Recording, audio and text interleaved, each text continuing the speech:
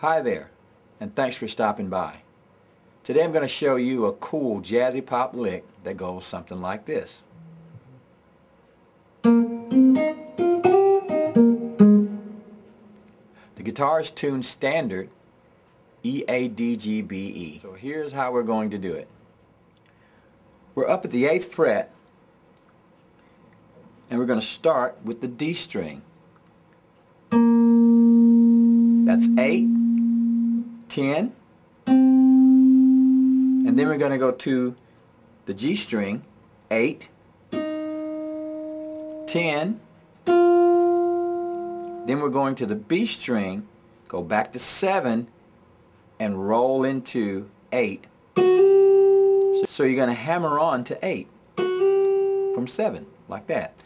First finger in there, play it, and put your finger down, alright? Just like that. After you do that, you're going to take that middle finger and go to fret 8 on the G string, fret 8 on the D string, and then take the first finger and go back to fret 6 on the D string. So 8, 10, 8, 10, hammer 7 to 8, 8, 8, 6,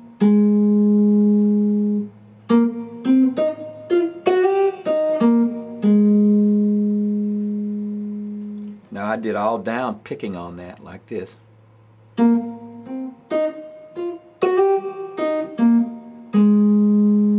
it's fairly easy to do. Now if you add some chords to that, sounds something like this. F minor 7, G minor 7,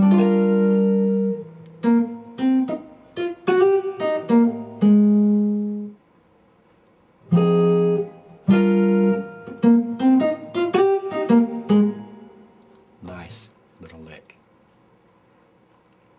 Alright, with a little practice, you'll be able to do that too. Thanks for stopping by, and have a great day.